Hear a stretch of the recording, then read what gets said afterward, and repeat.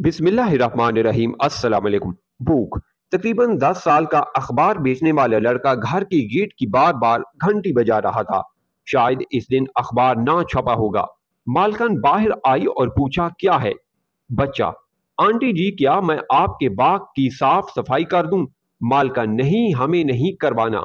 बच्चा तरस भरी आवाज़ में हाथ जोड़ते हुए, प्लीज़ आंटी जी, करवा लें, मैं उसे बहुत अच्छा साफ़ कर दूँगा। मालकन जज होते हुए, ठीक है, कितने पैसे लोगे? बच्चा, पैसे नहीं चाहिए, आंटी खाना दे देना। मालकन, ओ, चलो ठीक है, कर दो। लगता है गरीब भूखा है, पहले इसे खाना दे देती हूँ। मालकन सोचने लगी। मालकन ए लड़के, पहले खाना खा लो, फिर काम कर लो। बच्चा, नहीं आंटी, पहले मुझे काम करने दो, फिर खाना दे देना। मालकन, ठीक है।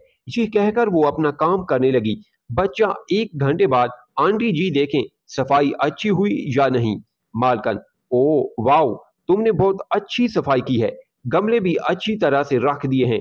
बैठो, मैं खाना लाती हूँ। जैसे ही मालकन ने उसे खाना दिया, लड़के ने जेब से प्लास्टिक की एक थैली निकाली और खाना इसमें रखने लगा। मालकन भूखे भूखे काम तो का लिया, भूख तो बहुत लगी थी। तुम्हें अब यहाँ बैठकर खाना तो खा लो, ज़रूरत पड़ी तो और भी दूँगी।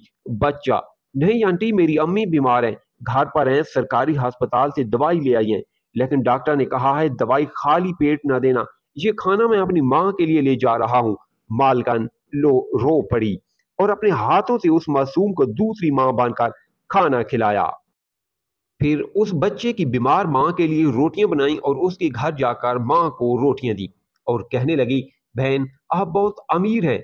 जो दौलत आपने अपने बेटे को दी है, हम अपने बच्चों को देने के काबिल नहीं है। खुदा ऐसे बच्चे उनको देता है जो बहुत खुश नसीब होते हैं। स्टोरी पसंद आई है तो लाइक और कमेंट करें, चैनल पर नहीं हुए तो सब्सक्राइब ज़रूर करें।